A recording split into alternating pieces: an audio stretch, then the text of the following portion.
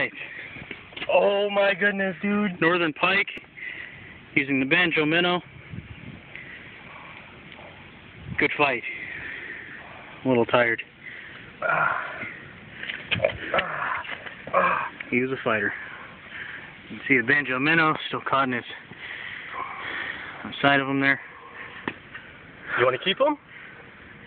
Yeah, let's keep him. I don't know how to cook them. I don't either. Look at those teeth.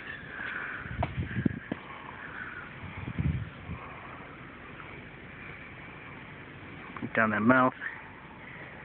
It was good times. Banjo minnow. First cast with the band with this banjo minnow. Look at that, dude. That's fantastic. All right, you gotta take the hook out, man. Uh, Bro, that's all you. You wanna put him back in so he stays alive a little bit. sure. Here.